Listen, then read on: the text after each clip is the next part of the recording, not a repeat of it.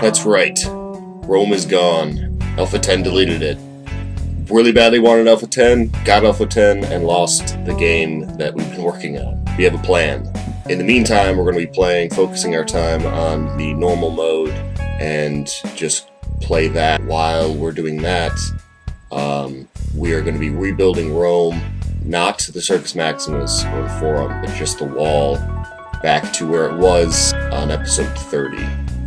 So we will start back off from episode 31 again once we have that rebuilt to where it was, and then we'll just continue from there. But yeah, we lost the Circus Maximus and we lost the Forum and we lost the wall, but we figured we'll rebuild the wall and then we'll just build like a monument or something cool in the place of where the Circus Maximus was. We don't want to give up on it. It really sucks. It's a huge blow to us. I mean, I you can't even understand how disappointed I was when I found out it was gone. So uh, just give us, you know, a few days to uh, rebuild it, the wall back to where it was, and we'll continue the series from there. So uh, in the meantime, guys, I hope you enjoy the uh, normal uh, survival mode with me and Nick, and uh, we'll see you soon for more creative mode.